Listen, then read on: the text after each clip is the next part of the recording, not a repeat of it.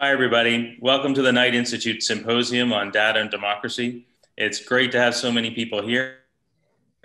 Symposium centers on a very simple question. What information do we need, uh, all of us, in order to participate meaningfully in self-government?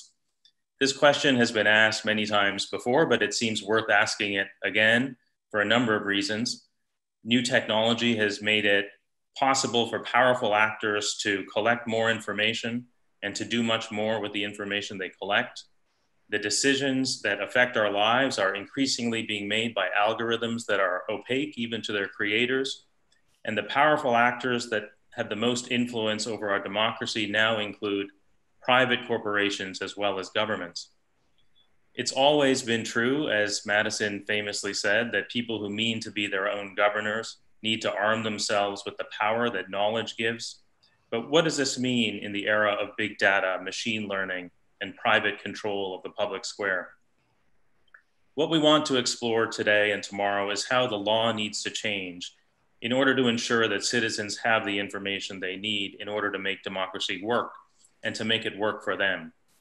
We're excited to be hosting this symposium with Yale Law School's Amy Kapczynski and the Law and Political Economy Project, Professor Kapczynski is a truly visionary legal scholar who has thought as deeply as anyone about public accountability of private power.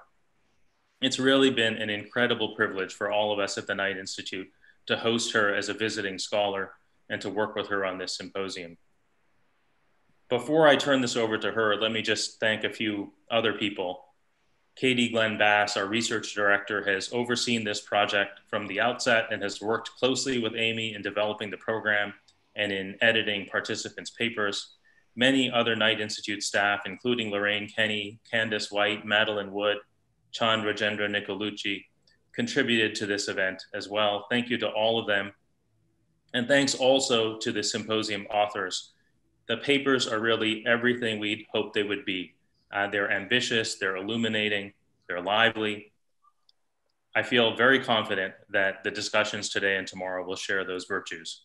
Thanks again to all of you for joining us, and let me turn this over to Professor Kapczynski. Thanks so much. I'm delighted to be here with you all today, and I want to begin by thanking Jameel and Katie and everyone at Knight. It's been a really wonderful privilege to be a visiting scholar there. Um, they are a first rate group of legal thinkers and litigators, and I've learned a great deal from them. They've also done a masterful job of organizing this event and bringing us all together. And to, to find that combination of legal skills and acuity and commitment to real intellectual exchange all in one place is quite unusual. And I think I, have been very privileged to, to learn with them. And I think um, it's really helped shape the event that lies before us. So when we planned this event, we thought, of course, that we would be in person. And we lose a great deal by not being able to be together. It breaks my heart. But um, we also gain something, which is that we have participants, hundreds of them, in fact, signed up from many different parts of the country and, in fact, the world. And so thanks so much out there in Zoom land for joining us.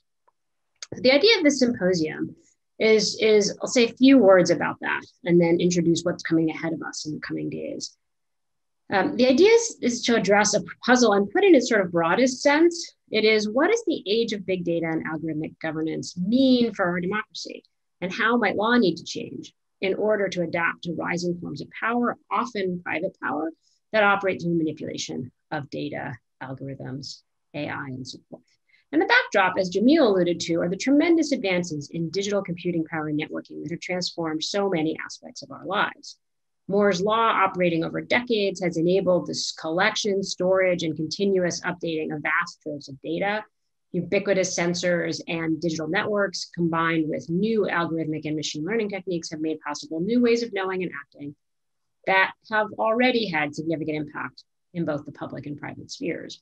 We're also creating significant challenges for our democracy. So, government actors are allocating Medicaid resources and orienting policing and prosecution using algorithmic and data intensive approaches, often in conjunction with private actors. So, can these kinds of systems be reconciled with due process, with non discrimination? What challenges do they pose for accountability? There are new capacities to harvest and analyze data that are impacting key intermediary institutions for self government, such as political parties. They're influencing the infrastructure of elections and the free press, the public sphere.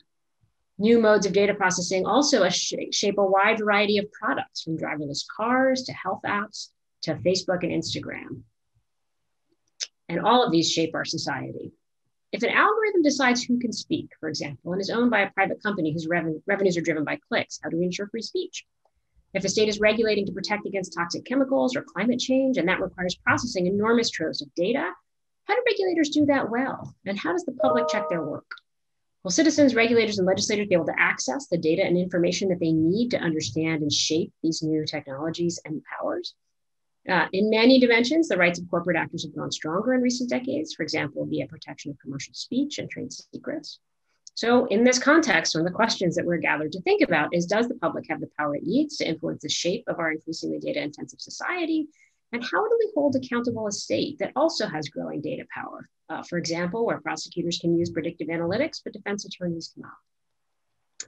So this conference is co-sponsored by Knight and the Law and Political Economy Project. I direct the Law and Political Economy Project with my colleagues David Grewal, Jed Purdy, and Cynthia Rahman.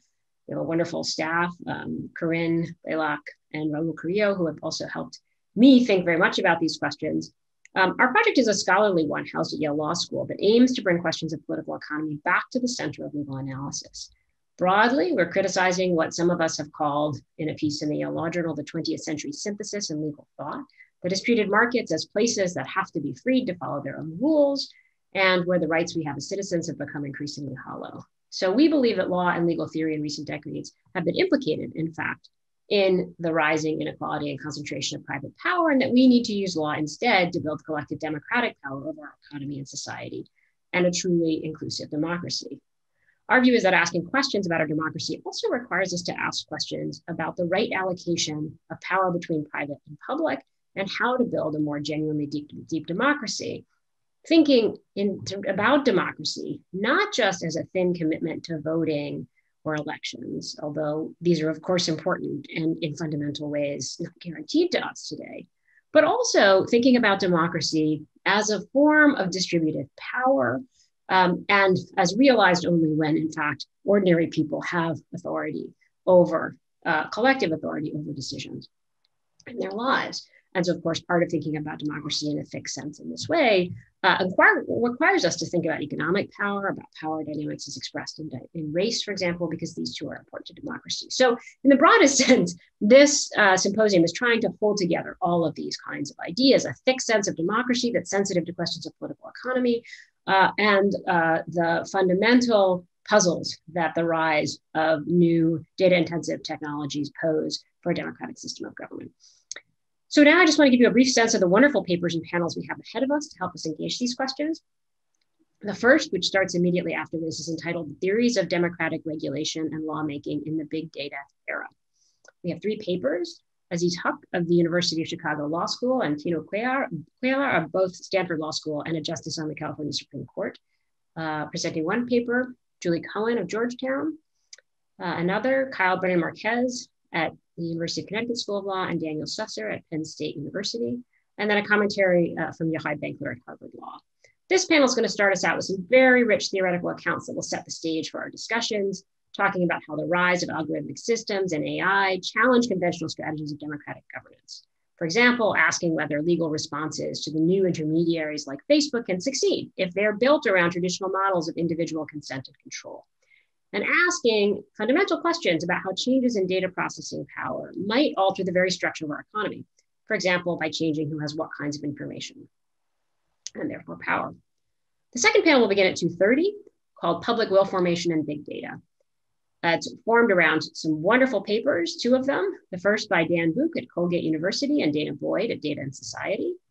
And the second by Bertrall Ross at University of California, Berkeley School of Law and Douglas Spencer at the University of Connecticut School of Law. And we'll have commentary by Ethan Zuckerman at the University of Massachusetts at Amherst, and also a new Knight First Amendment Institute visiting scholar. So this pair of papers could not be more timely. We have new Supreme Court case on census, in fact, very recently, and an election barreling down upon us. And that is very substantially the theme of these two papers, Bouk and Boyd. We'll talk about the history and technopolitics of the census, and ask whether the legitimacy of data can ever come, quote, from the data itself or instead relies on broader social and political structures. And Ross and Spencer will describe the relationship between the availability of more data on voting and parties' neglect of for voters and propose some solutions. Tomorrow at noon, we have a panel on data publicity and public control with three papers. Frank Pasquale from Brooklyn Law School, Wendy Wagner from University of Texas School of Law, writing with Martin Murillo, the Institute of Electrical and Electronics Engineers, and then Rebecca Wexler, also from the University of California at Berkeley, with comments from Margot Kaminski. Pasquale's paper describes the need for algorithmic governance to respond to big data analytics. Wagner and Murillo take on challenges for agencies like the EPA in a big data environment. And Wexler brings our conversation into the criminal law domain and how to think about and what to do about the increasingly asymmetric power of prosecutors to use big data technologies. After that, we'll have a keynote from Julia Angwin. She's an award winning investigative journalist and editor in chief at The Markup, a nonprofit newsroom. She's done wonderful work investigating the impacts of technology on society, and she'll be discussing some of that exciting work with us. The last panel will be tomorrow at 2.30 p.m., Engineering Access to Data and Algorithms. We'll have three papers.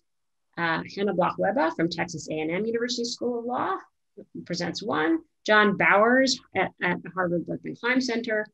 Elaine Sedenberg, also at the Berkman Klein Center and Facebook, and Jonathan Zittrain at Harvard University will be presenting another, and then Matthias Vermeulen at AWO, with comments by Evelyn Douek, a lecturer on law and SJD candidate at Harvard Law School. And these papers are going to get us deep into the nuts and bolts of how we know or might know how AI systems and algorithms work. How does law and practices and institutions need to change to give us real access or give researchers real access, considering things like FOIA law, other private steps companies might take. So researchers, researchers and the public can understand more about the technologies that influence our lives. So exciting first uh, couple of days ahead of us. And uh, now we'll move on to the first panel.